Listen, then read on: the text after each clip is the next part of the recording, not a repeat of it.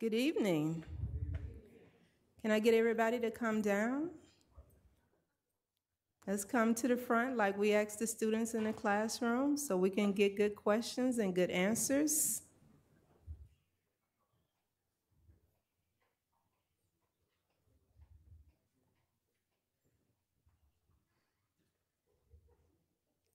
I can barely tell the students from the employers, which means that they did a really good job with their dressing this this this night. This is good. I like this.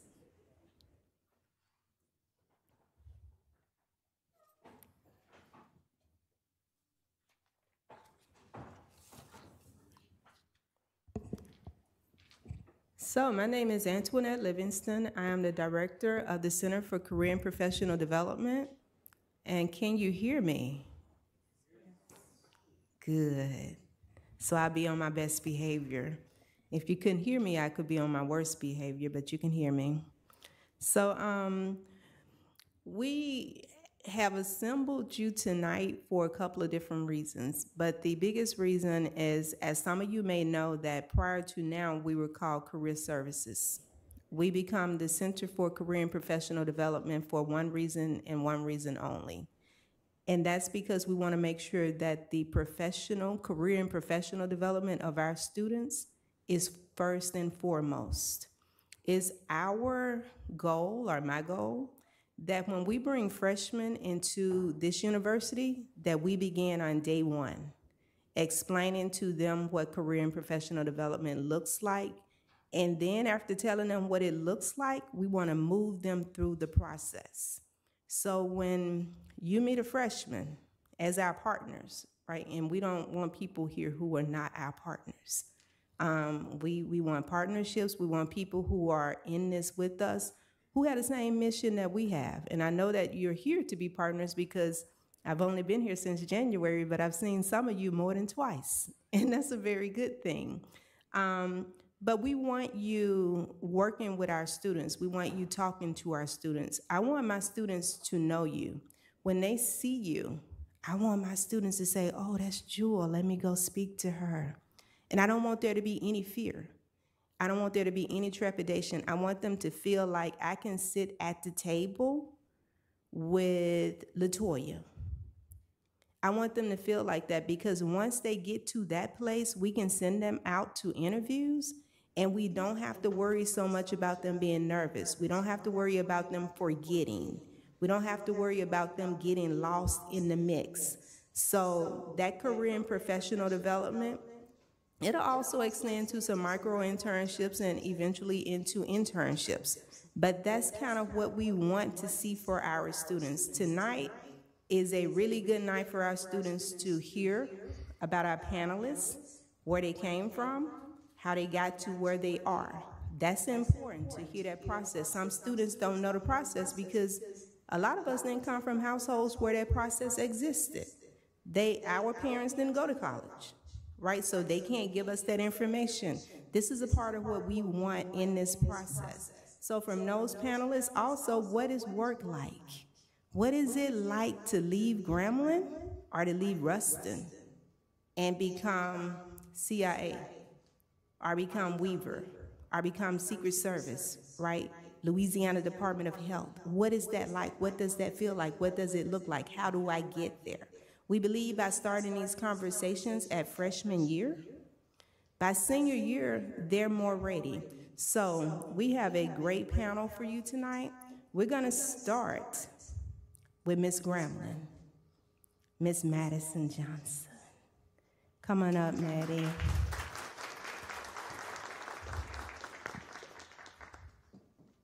I like this right here. I like that. I, I, I, like I like the let me help her up the steps, right? Because we know that there is pedigree there. Now I'm gonna sit and let you have the honor of hearing from Madison, and she's gonna bring our panelists up. You good with that? Yes. Good deal. Thank you. Good evening, everyone. Good evening. Johnson, a senior mass communications major here at Grambling State University. I am from Dallas, Texas, and I humbly serve as the 70th Miss Grambling State University. And I'm so elated to be here tonight and welcome you all to the candid conversations about careers and opportunities. I'd like to welcome our representatives to the stage right now um, Jennifer Brooms with Weaver, Dr. Quintrella Cahey with Central Intelligence Agency, Annette Douglas with Entergy, and Tony Magaro with Southwest Research Institute.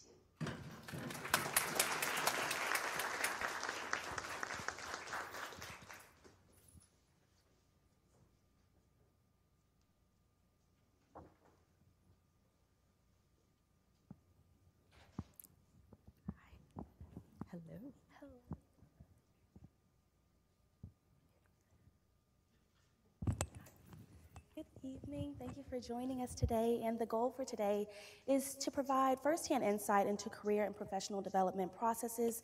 So, for my first question, it's for everyone.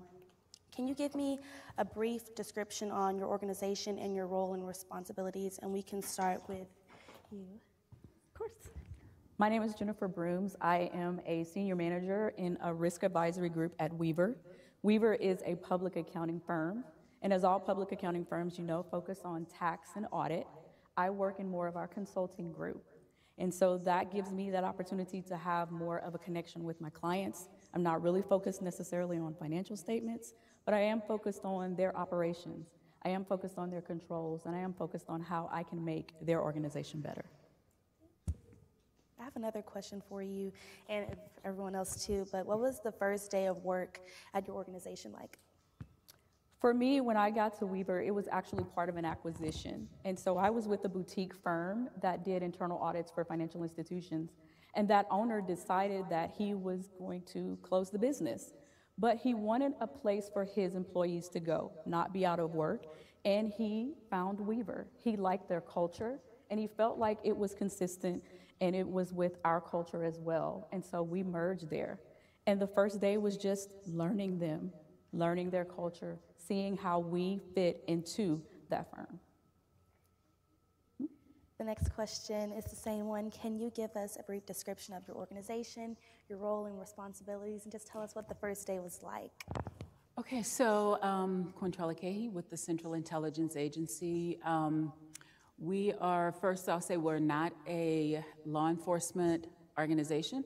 We gather foreign intelligence, do analysis, and provide it to the policymaker. And I, our highest customer is the President of the United States. Um, how do we gather our intelligence? The office, where I currently serve as deputy director, we do open source um, collection and exploitation. And what that means is we look at foreign media.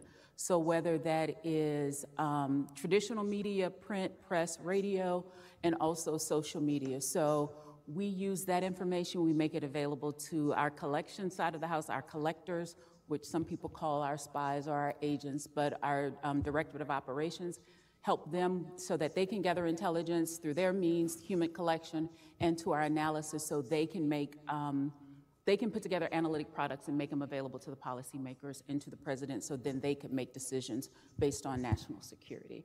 Um, my first day with the organization, you are making me go way back. I started with the CIA in 1991 um, while I was here at Grambling as a student. Um, I was a student intern there. So it was um, first time actually living outside of Louisiana. So it was just taken in awe of being in the DC metropolitan area and being in an organization such as CIA was very overwhelming. But I will say the CIA made it very easy for a transition because I was a part of a, student, a lot of students who had come from across the country to be a part of the organization. So we formed this bond. We're friends to this day. We're godmothers to each other's children. So it was a really great transition because it allowed me, I would say that's the place where I actually grew up. So Grambling gave me an amazing foundation, and then everything was up from there. Um, currently, I serve as Deputy Director, as I said, of Open Source Exploitation, where I'm responsible for leading a global organization where we do foreign media um, collection and exploitation. Thank you. Grambling definitely does prepare us for the future. Yes, it does. yes, ma'am. Uh, my next question is the same for Ms. Douglas. Give, you, give us a brief description of your organization, your role, responsibilities, and the first day. Um, so I work with Entergy. Entergy is a, um, it's basically a power um, energy organization. We um, work very closely with um, nuclear. I work with a nuclear um, plant. I am an HRBP um, senior generalist at Entergy, the nuclear plant in that it's near Baton Rouge, St. Francisville, Louisiana. Uh, we work with a lot of the community in seeking, you know, uh, rates and how we can best um, provide, um, you know, the rates and, and how we can source energy to them in um, more of a satisfactory um, way. Uh, with my role at Entergy, I do a lot of in employee relations. Um, with employee relations, I seek succession planning, how we can develop our employees through um, their goals and seeking pipelines to develop our employees and progress them within their roles, one, um, engineer one to engineer two or what have you. Um, seeking training plans and, and how we can source um, the best and quality plans to move them and progress them in a role to move up where they, where they desire.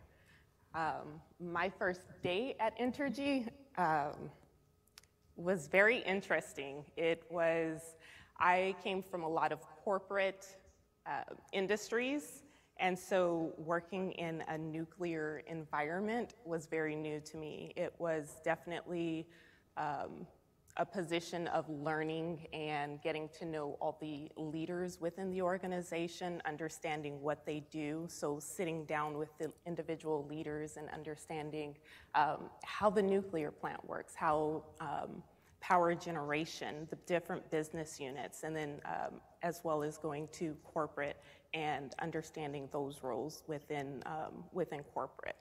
Um, it's just, uh, it was, it was definitely, like I said, um, an experience working with uh, nuclear and understanding how, you know, that nukes are transferred and, um, you know, how we we have outages. Outages occur every two years. So understanding that process and, and knowing how we, uh, how we remove the nukes and where we, where we place them when we do remove them and who handles that and who manages those pieces. Um, getting to know the employees, trade and craft, and really understanding their roles and how important they are to our communities and Entergy as a whole. Thank you. Thank you. My next question, um, last but certainly not least, is for Mr. Magaro. Am I saying that correctly? Can you give us a brief description of your organization, the role and responsibilities, and your first day? I'm part of Southwest Research Institute. It's a independent, nonprofit R&D organization that was established back in 1947 on a cattle ranch on the west side of San Antonio, Texas. We actually work on things in all the STEM fields. So if you think of the rockets that fly to the moon, well, we still have instrumentation that's flying past, or that actually flew past Pluto and is in a Kuiper belt sending information back to the back to Earth. But we also work in the deep sea where we design uh, modules for scientists to go explore the deepest parts of the ocean. Uh, we have an automotive group that, that works on advanced engine concepts. Uh, we have individuals that are doing applied research in, in autonomous vehicles. So we span the technical breadth of the STEM fields, and we've been in existence now for 76 years as a nonprofit. R&D.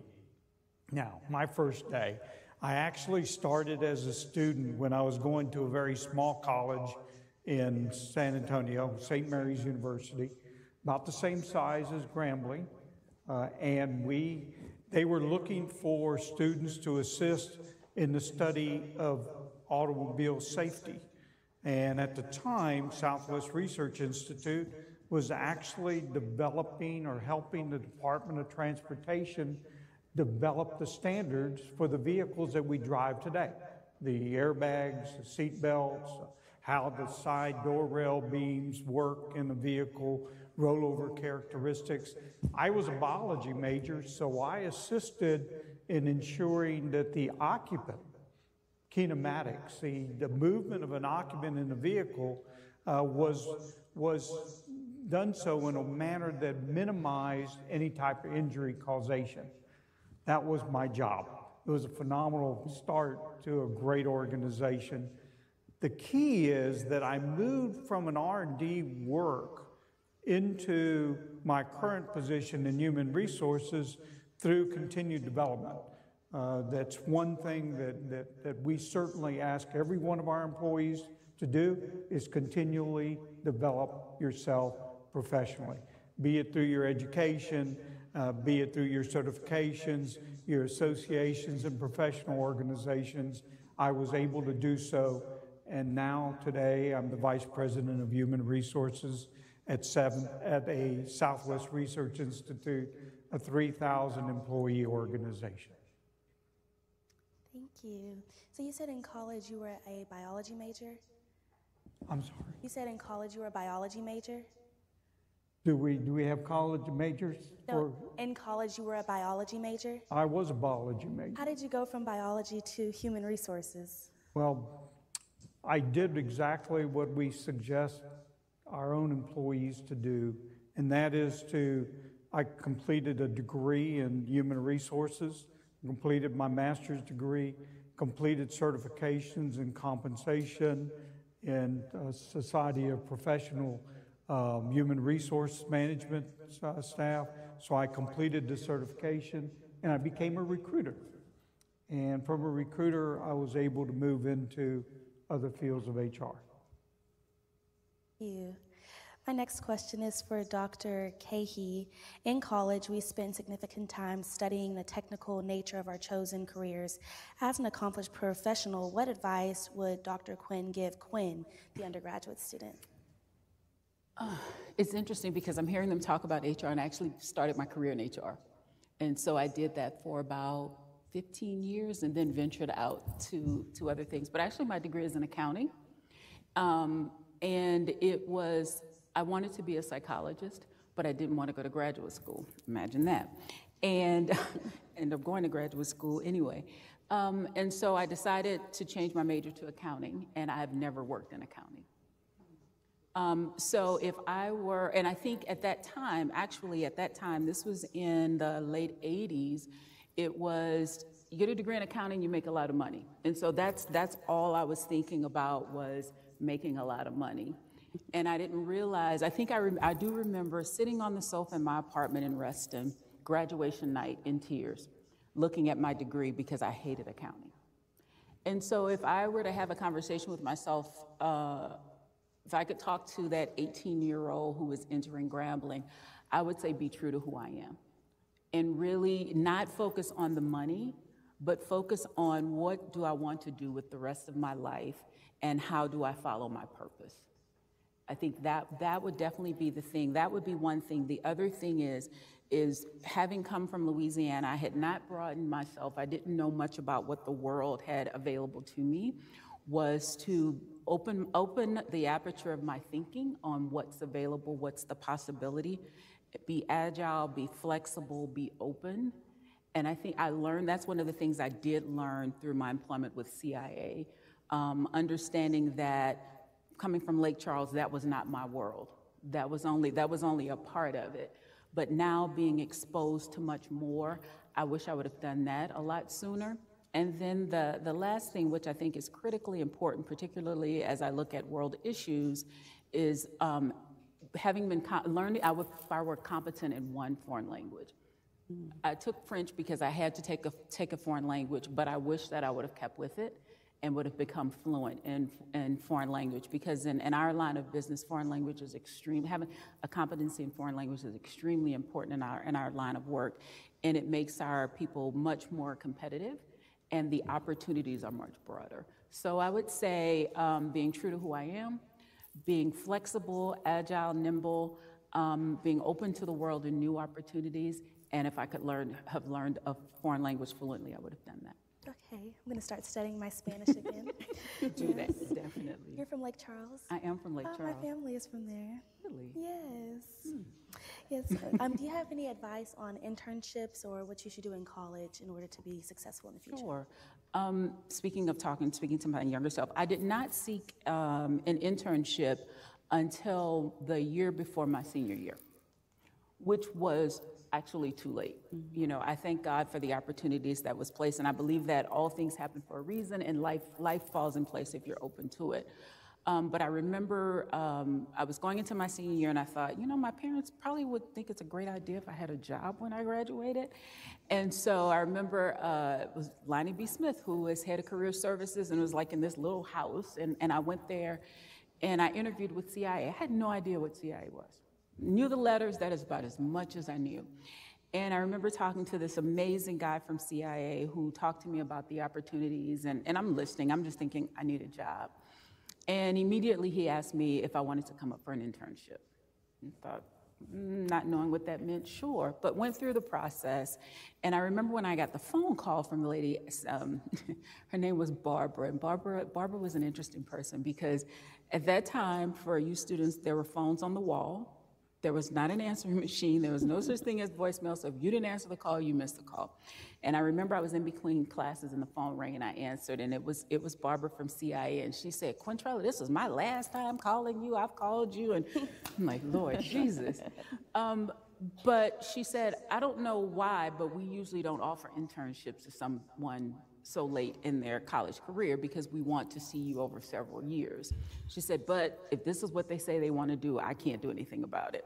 Thank you, Miss Barbara. Um, but I wish I would have done that earlier in my college career, but I, but I thank God for the opportunity. And so I was able to become a student intern for a year, graduated from Grambling. I was offered a graduate internship. So I went to graduate school, went to McNeese for my MBA, and worked for CIA. And that's the only place I've been in my adult career as far as college career, CIA. So, but I definitely, so, so to you students, I would encourage you as, as freshmen, start now. Career services should be as frequent, you should be a frequent visitor to, to career services as you are to student union. Because employers are always coming through, and as you start perfecting on how to engage with employers, you're only gonna get better. And so don't just stop, don't stop at one internship with one company. Take all the opportunities that are available to you. And so when you settle down on a career, whether you choose to stay with that company five or 10 years, you know what you're looking for.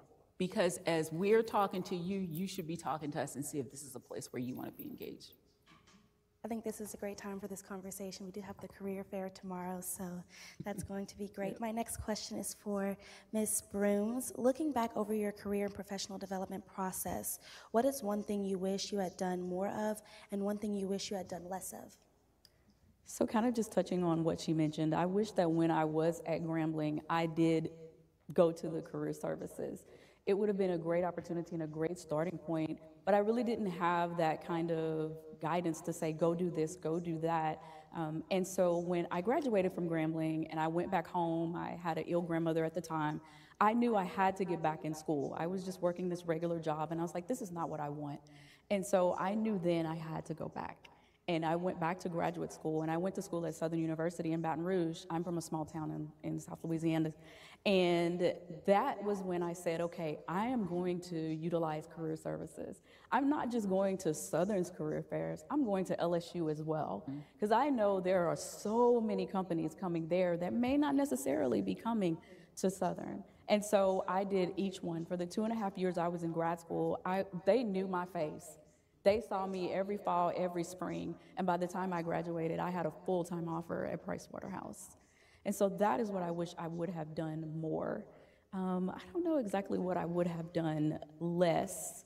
Um, I'll have to think on that one, but for sure, I know that is what I wish I would have done more. And I definitely, as mentioned, encourage the students to get involved. Because once you're out of school, it gets so much harder because the, the um, employers aren't really looking for you as hard. When you're in school, they are coming. They are, we're here.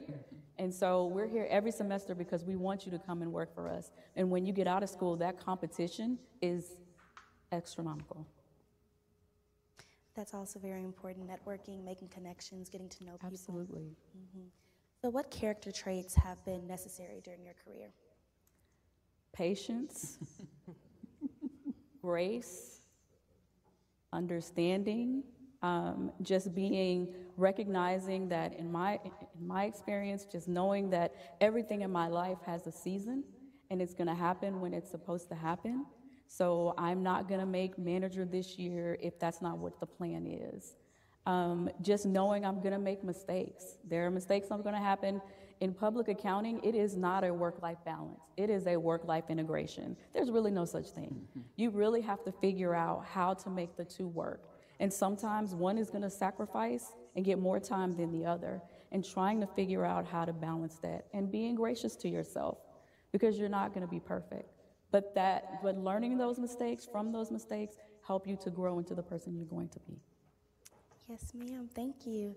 Uh, my next question is for Ms. Douglas. A 2020 Glassdoor survey found that only 46% of women negotiate their initial salary offer compared to 52% of men. The same study found that women who negotiate their salaries typically ask for 30% less than men. What advice would you give women on how to negotiate equitable salaries and benefits? Good question. um, it's so funny because I am working on a, um, a process right now in um, basically on equity and compensation within the organization and internal promotions. Um, I would definitely tell women know your value. Speak up for yourself, understand and know what you can do, and speak to it. Know your story, gain that experience, get that training, and um, speak to leadership. As I, I encourage, I encourage everyone speak to leadership.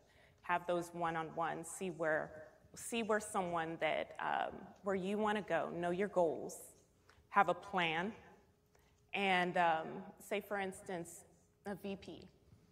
If that's where you want to be within five, seven, ten years, speak to a VP that, um, that, you, that inspires you. Speak to someone within uh, an organization or that you know and ask how they progressed within their career. But know your value. That's, that's key. And continuous development. You want to definitely continue your development no matter what you do um, in life. And um, seek those certifications and, and knowledge. Knowledge is key, definitely.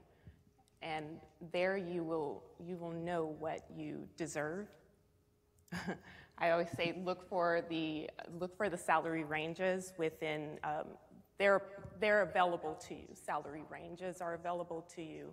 And look for, seek for the highest. Go for that.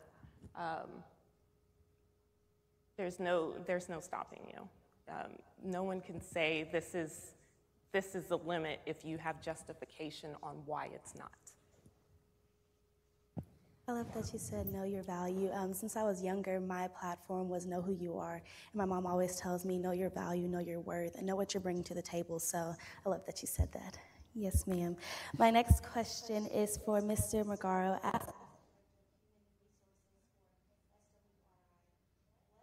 You give new and soon to be professionals about navigating the workplace?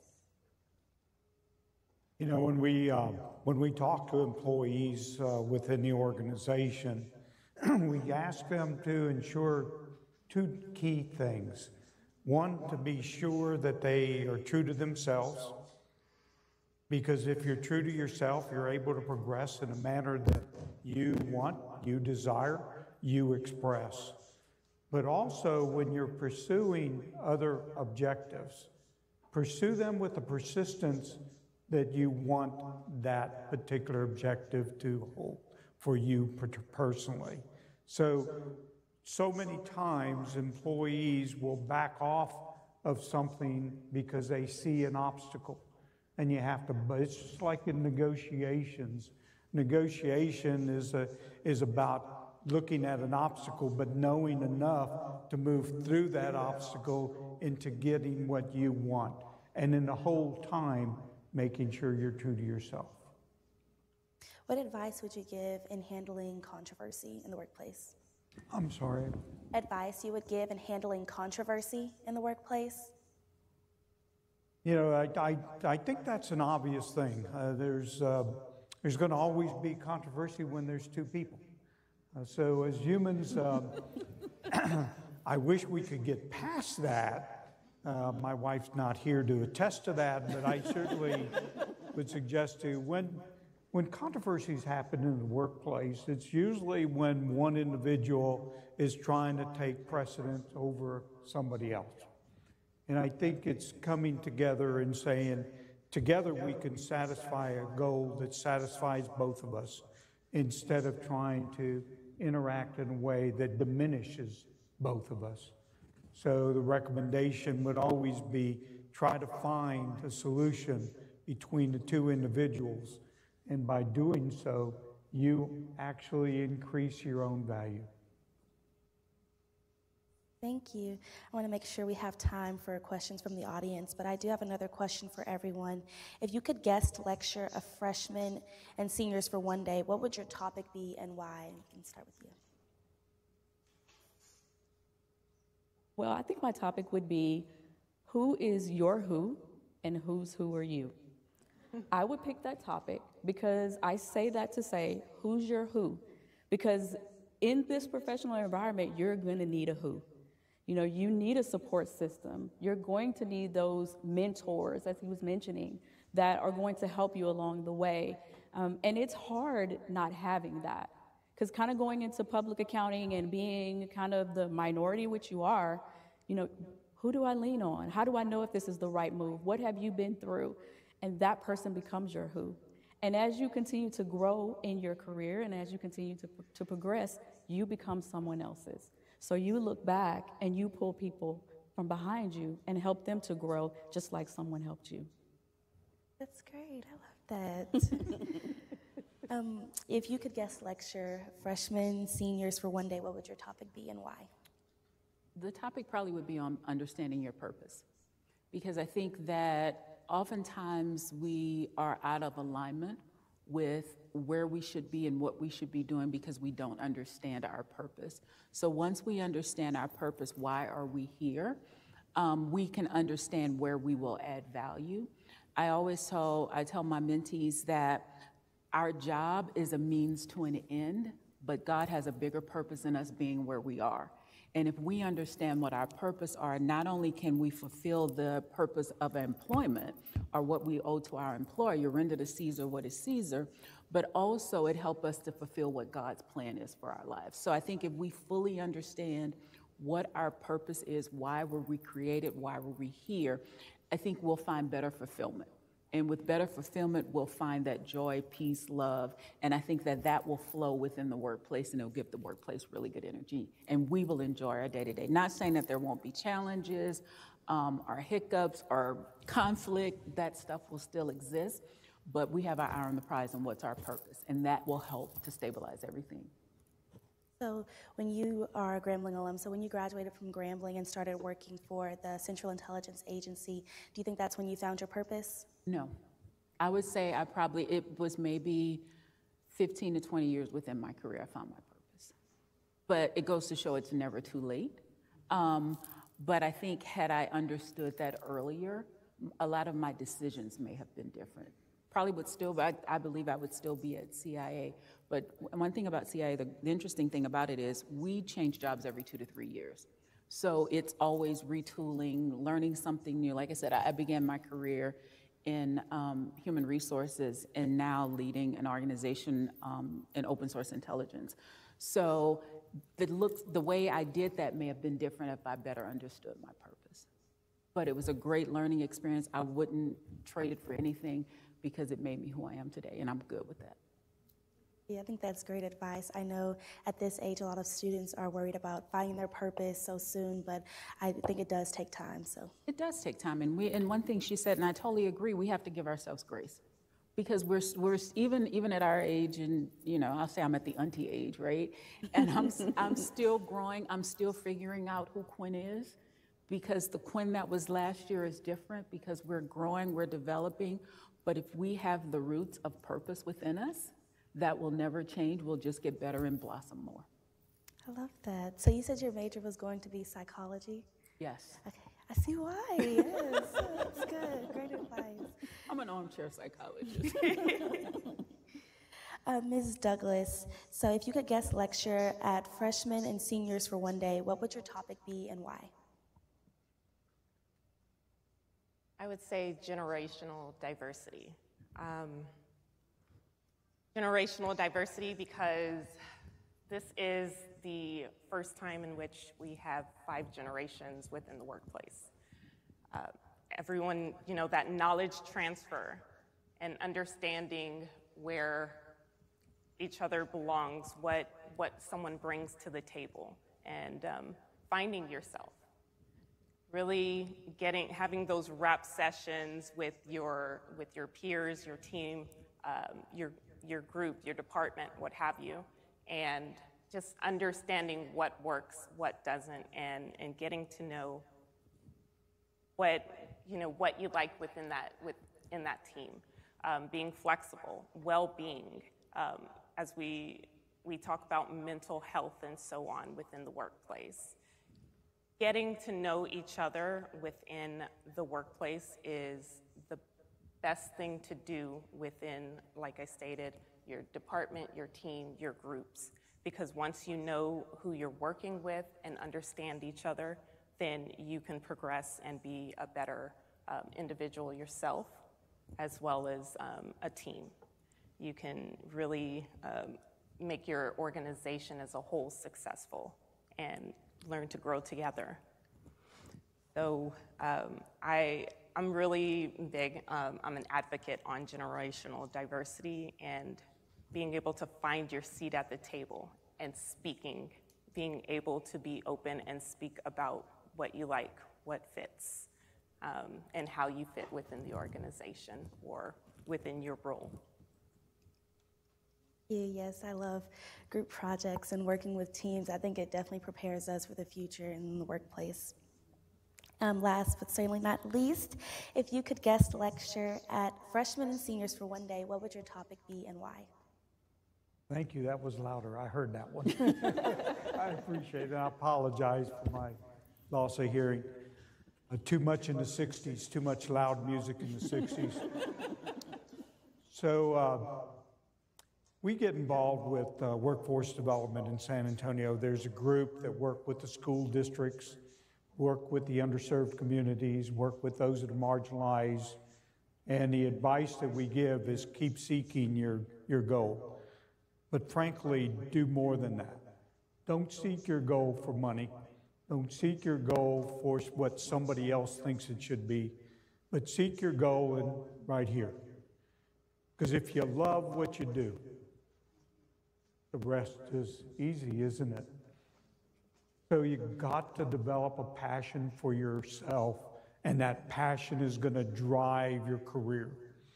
And when that career offers you challenges, make sure you understand your priorities in life.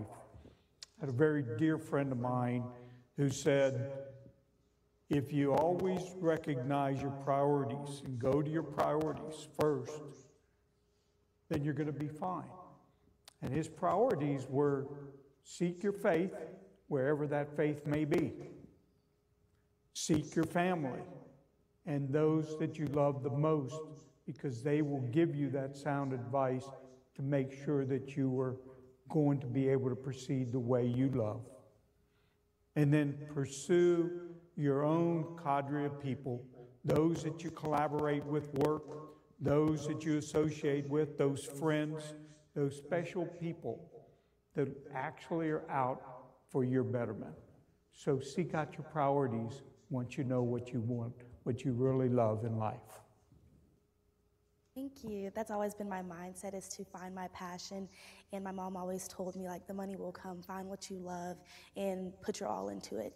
Well, just like you and what you're doing. Look at that crown you're wearing. and you're in communications. Yes, That's sir. what you love. Yes, sir. Thank you. We'll take a few questions from the audience. Yes.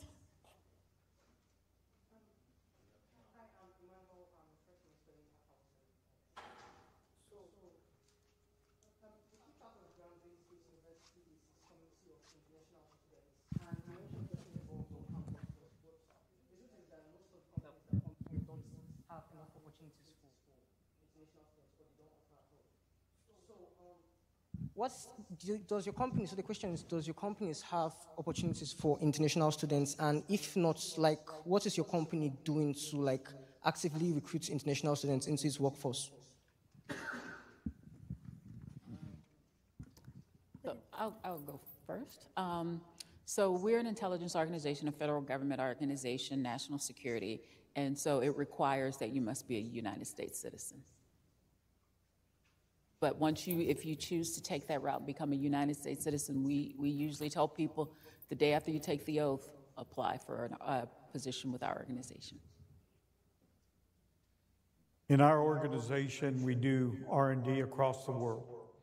So there are certain organizations that perhaps even work for your organization within our company. That is required for security clearance, requires a U.S. citizenship. But other organizations, such as those that work in the automotive world, in a pharmaceutical world, those that work in the, in the world of space, all are an international community, can, can pursue a career. The interesting thing is trying to find a company that can assist you as an F1, as a J1, or actually as you continue to grow as an H1B or even into your, your green card. So if you're looking for those kinds of positions, seek out those companies that have those opportunities. Any other questions?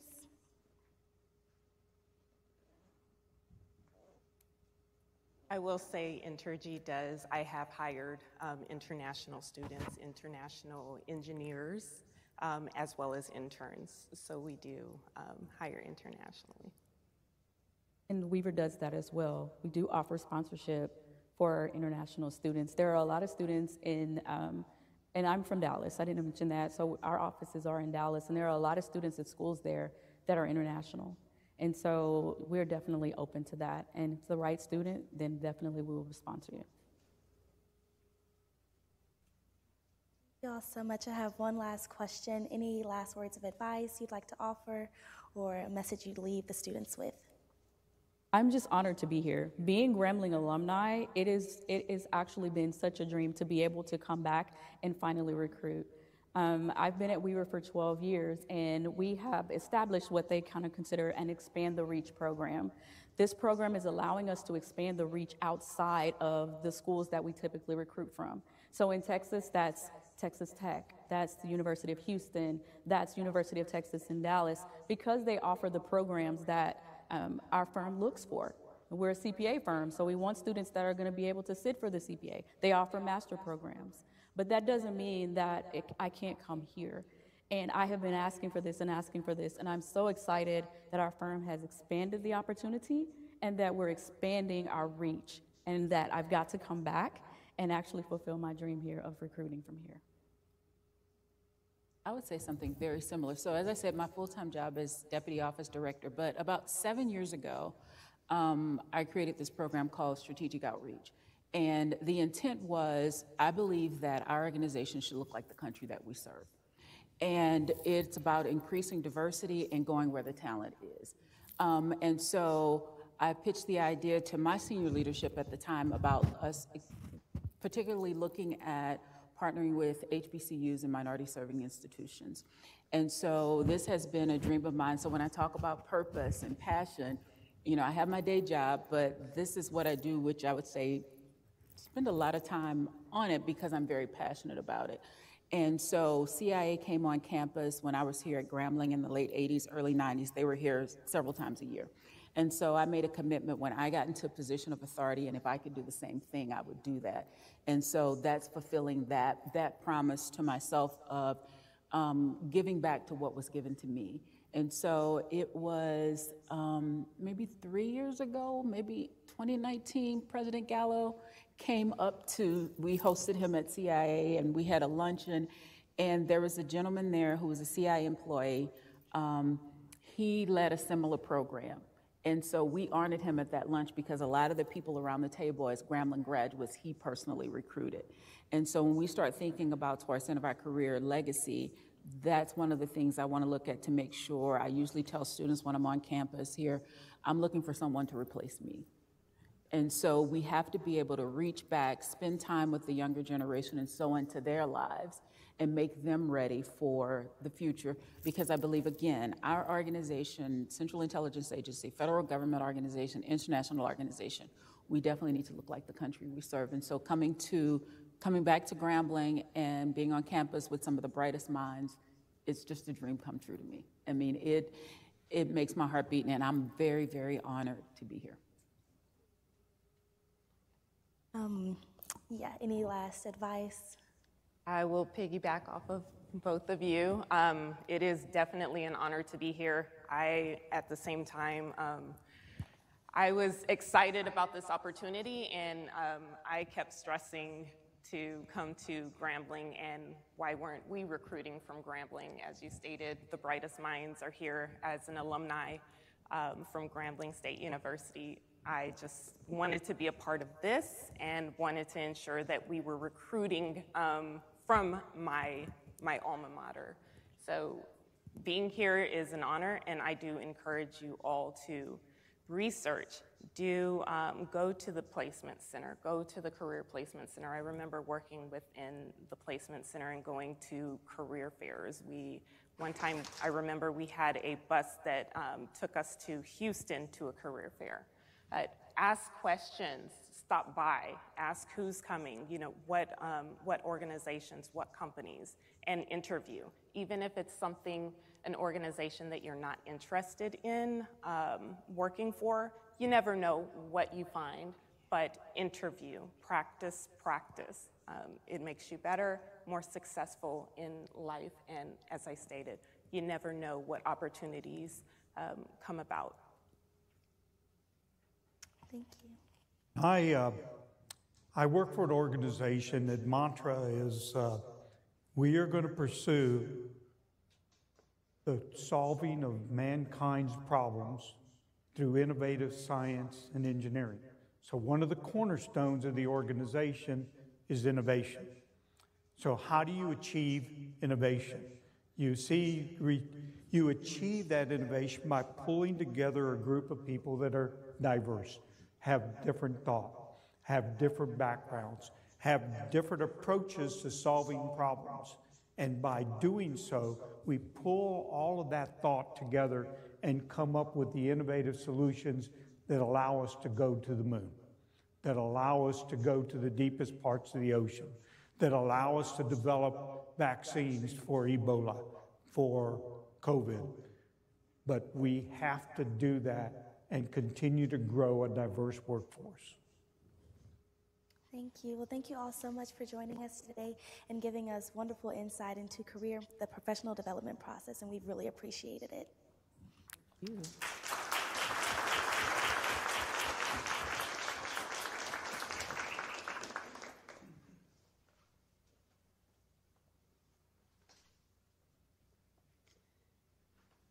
I think all I can say is, wow. I might want to go back to college and redo this whole thing. I don't, I don't know where the advice like that was when I was in college. Um, thank you. Thank you, thank you, thank you, thank you. Those answers were everything we were looking for, right? Um, especially the one that said, and I quote, go back career services. I love, did y'all see me clapping over there? Because this is the best advice, right? Come by the Center for Career and Professional Development. All of these things that they're talking about are all things that we can do for you. Especially that question, the answer that was salary ranges. Don't go out looking for jobs and not knowing what the salary range is. I can give you those. All you got to do is come in the office and ask.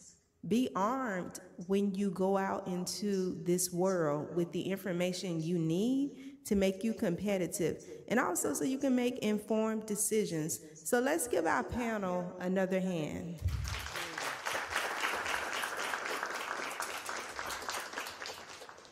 Also, what a moderator, right? What a moderator. She's great. We knew she would be great. We, we had no question, and you were great. So thank you. Um, I don't know if they want me to do this, but I can't move on without recognizing my VP and my president, Mr. Logan.